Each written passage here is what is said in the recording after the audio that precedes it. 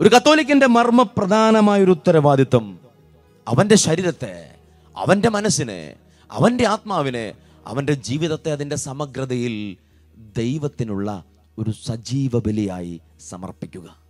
ഈ സജീവ ബലിക്ക് രണ്ട് അർത്ഥമുണ്ട് പ്രിയപ്പെട്ടവരെ.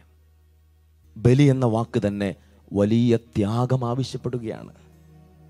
ജീവിതത്തെ വിട്ടുവീഴ്ചയുടെ ക്ഷമയുടെ ത്യാഗത്തിന്റെ അനുഭവങ്ങളുടെ കടത്തിവിട്ട് ഇങ്ങനെ സജീവമായൊരു ബലിയായി നിരന്തരം ഇങ്ങനെ സമർപ്പിച്ചുകൊണ്ടിരിക്കുക. ഞാനൊരു ഉദാഹരണം പറയാം. വളരെ മനോഹരമായി മുമ്പോട്ട് പോകുന്ന ഒരു കുടുംബം. വിശ്വാസത്തിൽ ആഴപ്പെട്ടും വിശുദ്ധിയിൽ ബലപ്പെട്ടും ഒരു ഒരു പരിധി വരെ ഒരു നല്ല മാതൃകാ ജീവിതം നയിക്കുന്ന ക്രൈസ്തവ ജീവിതം നയിക്കുന്ന ഒരു കുടുംബം.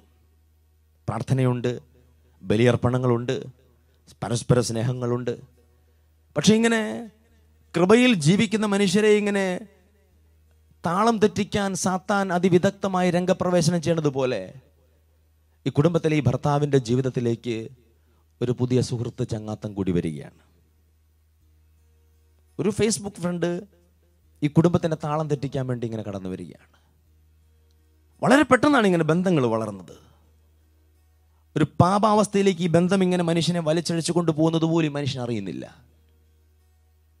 ഒരു പരിധി വരെ ആരും അറിയാതെ ഒരു പാപത്തെ ഇങ്ങനെ പൊതിഞ്ഞു സൂക്ഷിച്ച് ആ കുടുംബം അതിന്റെ മുഴുവൻ സന്തോഷവും താളം തെറ്റുന്ന അവസ്ഥയിലേക്ക് പോവാണ്. എന്നിട്ട് മനുഷ്യൻ അത് വിദഗ്ധമായിട്ടൊരു കാര്യം ചെയ്തു. പാപത്തെ അതിന്റെ മുഴുവൻ ആസക്തിയോടെ സ്വീകരിക്കാൻ വേണ്ടി തന്റെ പ്രിയപ്പെട്ട ഭാര്യയെ കാരണമൊന്നുമില്ലാതെ അവളുടെ വീട്ടിലേക്ക് ഇങ്ങനെ പറഞ്ഞു വിടുകയാണ്. രണ്ടാഴ്ച പോയി അപ്പൻ അമ്മയുടെ കൂടെ ഒക്കെ നിന്നിട്ട് വാ. സാധാരണ ഇങ്ങനെയൊന്നും ഇല്ലായിരുന്നു. ആവശ്യത്തിന് പണമൊക്കെ കൊടുത്ത് സ്നേഹത്തോടെ ഇങ്ങനെ പറഞ്ഞു വിടുമ്പോൾ ഈ മനുഷ്യന്റെ ഉള്ളിൽ ഒരു പാപത്തിന് വേണ്ടിയുള്ള ദാഹം ഉണ്ടായിരുന്നു. അങ്ങനെ രണ്ടാഴ്ച പറഞ്ഞു വിട്ട് ജീവിതത്തിൽ ചില തിന്മകൾ അനുവദിക്കാനുള്ള സാഹചര്യങ്ങൾ ഇങ്ങനെ ഒരുക്കി കൂട്ടുകയാണ്. രണ്ടാഴ്ച നിഷ്കളങ്കിയായ ഈ പെൺകുട്ടി വീട്ടിൽ ചെന്നും മാതാപിതാക്കളെയൊക്കെ ഇങ്ങനെ സ്നേഹിച്ച് കൂടെ നിന്നിട്ട് മടങ്ങി വരികയാണ്. മടങ്ങി വന്ന് അധികം ദിവസം കഴിയാതെ പെൺകുട്ടി മനസ്സിലാക്കുന്നു. കുടുംബത്തിൽ എവിടേക്കോ ചില താളപ്പിഴകൾ സംഭവിച്ചിട്ടുണ്ട്. വ്യക്തമായ ചില തെളിവുകൾ കിട്ടിക്കഴിഞ്ഞു. അതോടുകൂടി ഒരു കുടുംബത്തിന്റെ മുഴുവൻ സന്തോഷവും താളം തെറ്റി. മുഴുവൻ അസ്വസ്ഥതയായി. ഇവളുടെ വീട്ടിലേക്ക് കാര്യങ്ങൾ അറിയുന്നു. മുഴുവൻ ഇങ്ങനെ അസ്വസ്ഥത നിറഞ്ഞ ഒരു അന്തരീക്ഷം മാതാപിതാക്കൾ അടുത്തുകൂടി പലരും നിർദ്ദേശിക്കുന്നത് അത്ര എളുപ്പമുള്ള കാര്യങ്ങളല്ല. കോടതി കയറാൻ ഒരു ഭാഗം പറയുന്നു. പോലീസ് സ്റ്റേഷനിൽ പോകാൻ വേറൊരു ഭാഗം പറയുന്നു. ഈ ബന്ധം അങ്ങ് ഉപേക്ഷിക്കാൻ വേറൊരു ഭാഗം പറയുന്നു. ഇതിങ്ങനെ വിട്ടാൽ പറ്റില്ലെന്ന് മറുഭാഗം പറയുന്നു. നിഷ്കളങ്കി ഈ പെൺകുട്ടി എന്ത് തീരുമാനിക്കും? അവൾ ചെയ്തത് ഈ ഭർത്താവിനെയും കൊണ്ട് സ്നേഹപൂർവം കൂട്ടിക്കൊണ്ട് ഒരു ധ്യാനത്തിന് പോയി. മനോഹരമായ ധ്യാനം കൂടി ധ്യാനത്തിന്റെ എല്ലാം ഒടുവിൽ ഒരു വൈദികന്റെ അരികിൽ വന്നിരുന്ന് ഇങ്ങനെ സംസാരിക്കുകയാണ്. ഭർത്താവിന് നല്ല കുറ്റബോധമുണ്ട് വളരെ മനോഹരമായി പാപസങ്കീർത്തനം നടത്തി. ഒടുവിൽ ആ മനുഷ്യൻ ഇങ്ങനെ പറഞ്ഞു ഞാൻ മാപ്പ് ചോദിക്കുന്നു. എനിക്ക് തെറ്റിപ്പോയി. അപ്പോൾ ഈ പെൺകുട്ടി പറയാണ് പാപസങ്കീർത്തനം നടത്തിയവൻ പാപിയല്ല കേട്ടോ. ഇത് കൂടുതൽ സ്നേഹിച്ച് കുടുംബം ഒരു സജീവ ബലിയാകാൻ കർത്താവ് തന്നൊരവസരമല്ലേ? നമുക്ക് നഷ്ടപ്പെടുത്തണ്ട. ഇത് കൂടുതൽ സ്നേഹിച്ച് നമ്മുടെ കുടുംബത്തെ ഒരു സജീവ ബലിയാക്കാൻ കർത്താവ് തന്നൊരു അവസരമല്ലേ? ഇനി മാപ്പ് പറയുന്നതിന് പ്രസക്തിയില്ല അതിന്റെ ആവശ്യമില്ല.